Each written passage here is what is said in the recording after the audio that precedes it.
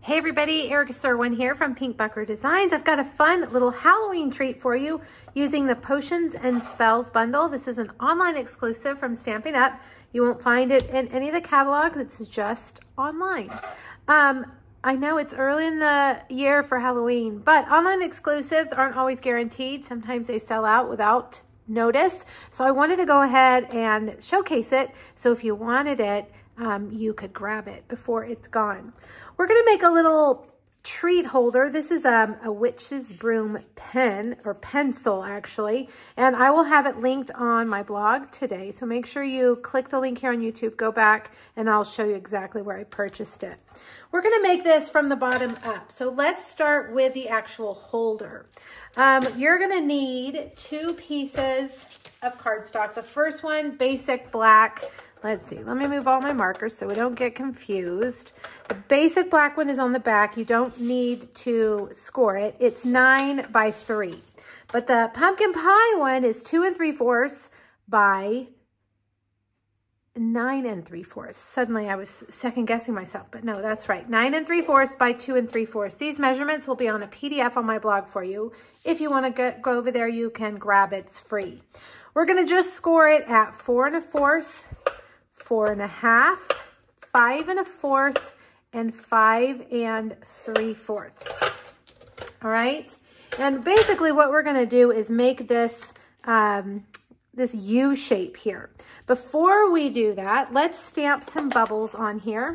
And this stamp set has several cute little bubbles. I'm going to use this bigger one. Whoops, we don't want basic black, do we? I'm going to use the bigger one and the smaller one. And I'm just going to stamp my bubbles, kind of turning the stamp so that they're in different directions each time.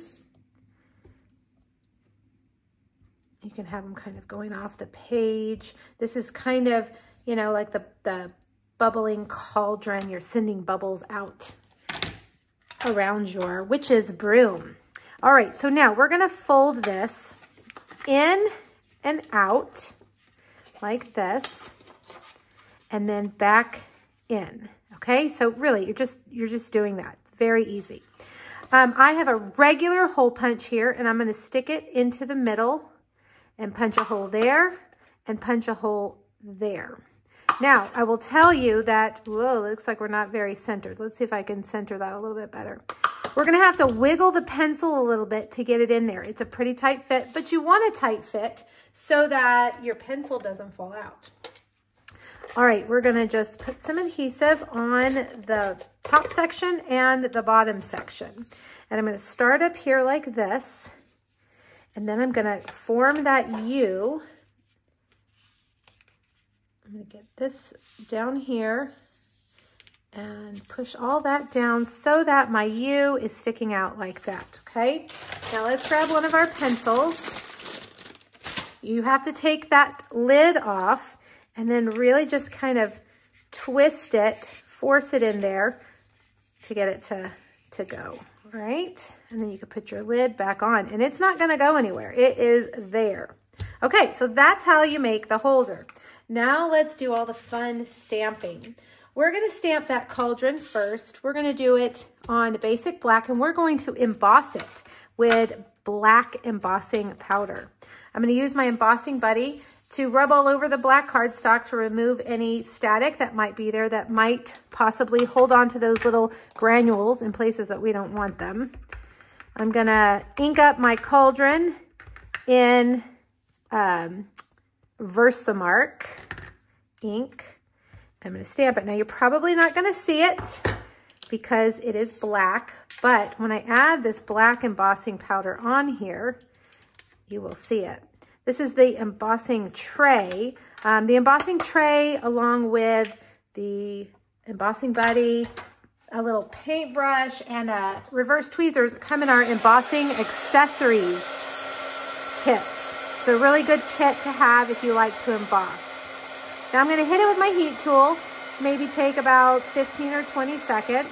And when you see it start to turn shiny, you'll know it's ready.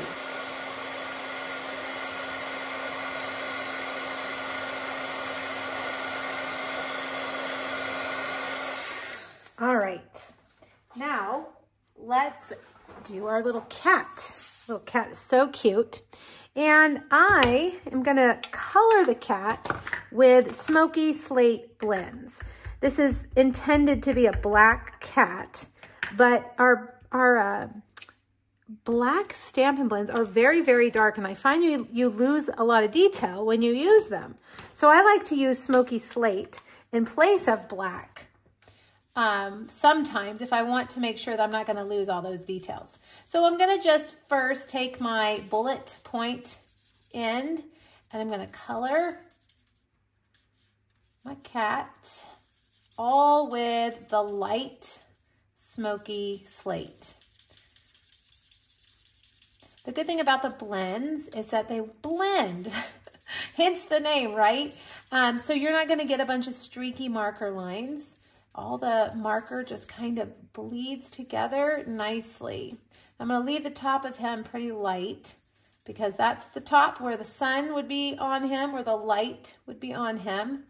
So I'm going to leave that the lightest. Right now, I'm going to take my dark and I'm going to come around anywhere that might be something that's overlapping, creating a shadow, like here where his head is, kind of diagonally. And then down here on the inside, like that. This back leg is definitely gonna be dark. Back here on this back side and around the back side of his tail. And then we do have a little bit of dark right here. Also, I'm gonna put a dark shadow on the left side of his face. Now I'm gonna go back with my light and just kind of blend that color towards the top. Remember, we want the top to be the lightest part of him. I'm gonna switch over to my brush tip so that I can kind of just flick that color up there like that. Just, and you're, you're adding layers of color each time. So you want that top part and the part around his face to really be the lightest with the least amount of layers. All right, there we go. There's our kitty. I'm Gonna take pumpkin pie, give him some orange eyes like that. All right, now let's cut him out and the cauldron. I have already cut some things out ahead of time and we'll look at that on the other side of our die cutting. All right, grab your coordinating dies and let's get them on here. You might, you know, whenever I have colored something and I'm gonna go die cut it, I don't wanna have to do it over again because my die slips. So I like to use post-it tape just in case I don't want that die to slip and then have to start all over. All right, this is a little bit trickier to see. So I'm gonna line these up and put my post-it tape there.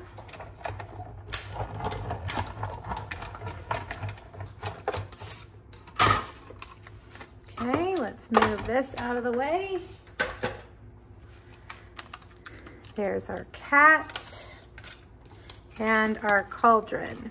Now, for the sake of the video, I've done several things ahead of time and all of the dies are here.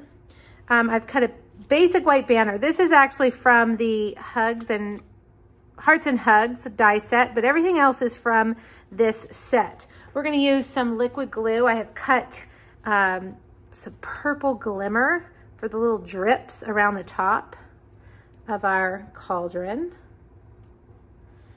okay? And we're gonna, I've got a lemon lime twist. No, actually this is Granny Apple Green. Granny Apple Green Circle. These are the Spotlight on Nature dies. And we'll start by layering our cauldron right there in the middle. All right, and then I'm gonna stamp my sentiment in pumpkin pie. Happy Halloween. I love during Halloween, I love just a basic happy Halloween sentiment. I think it just, you can use it for so many things. All right, let's put dimensionals on this as well. And we're gonna put this kind of down here across the bottom. We'll add our little kitty cat. I like how he's up on his, you know, he's arching his back like he's hissing. All right, now I've also cut out two white bottles. Um, that's this die and this die. And again with the dimensionals. Put one there. And one there. Now there's these two dies right here, this one and this one, and that's for the liquid that goes in the bottles. This one right here, by the way, if you can't figure out what that is, it is the liquid pouring into the bottle. If you look online, you'll see the sample that shows that. Um, some people are like, what in the world is that die? But that's what it is if you wanna have like a um, project where the potion is pouring into the bottle. All right, so I've got some old olive glimmer and then just a piece of granny apple green that I cut for that bottle. Get those centered like that. All right, now let's bring this back over and dimensional, dimensional. And we'll put that right in the center. Okay, and let's bring in our very vanilla and basic black ribbon. There we go. And, oh, I don't have my ribbon scissors here, so let's see if these will cut it. There we go. Oh, it needs to cut a little bit shorter on that side. Now remember the complete supply list and measurements for this project are on a free PDF over on my blog. Uh, it has all the details for you as well as two other potions and spells projects.